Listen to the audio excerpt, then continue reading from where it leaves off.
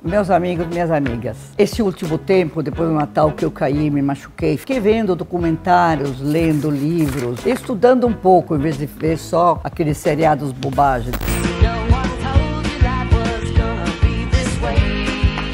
Eu vi um documentário da Finlândia, onde falava de educação. Parecia um mundo maravilhoso. Você sabe que a Finlândia, 35%, eu vou ler até porque eu comecei a ver pesquisas, tá? A Finlândia é considerada o país campeão mundial da felicidade, mas tem um relatório que fala que o suicídio foi responsável por 35% das mortes. Não estão felizes. Eles têm na escola comida, remédios, médicos, uma vida estabilizada com um governo maravilhoso. Por que, que esses nórdicos têm as maiores porcentagens de morte por suicídio, por infelicidade? Você sabe que na Alemanha tem uma minha amiga que mora lá e que ela vem sempre passar o verão aqui. Ela falou que ano passado teve 18 dias de sol e 5 horas por dia. Por exemplo, na Finlândia, às duas e meia, três horas da tarde, já é escuro. E o sol sol ajuda muito. Olha aqui, a luz do sol pode ter um impacto enorme sobre nossa saúde mental e nosso bem-estar. Pode se relacionar também os índices de depressão e suicídio na Finlândia devido em parte do clima muito frio, várias horas de escuridão. Uma época os casamentos duravam, a gente estava infeliz? Pode ser. A gente não demonstrava? Pode ser. Porém, fizeram uma pesquisa, ó, estudei bem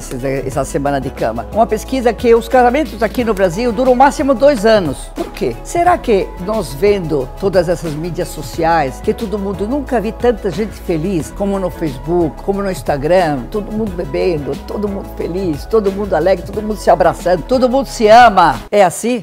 Não é assim.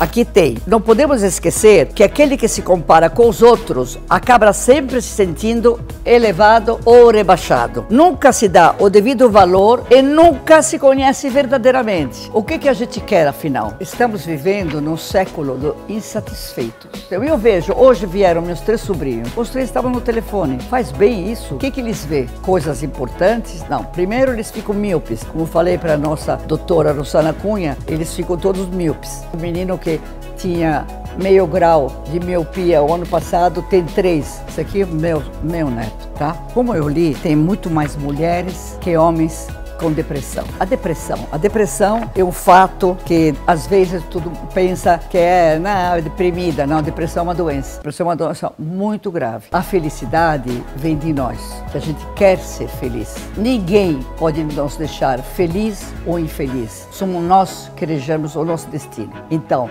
tentamos ser felizes sem tantos problemas, que a vida é bela, tá bom? De novo, feliz ano novo para o novo de 2019 para vocês.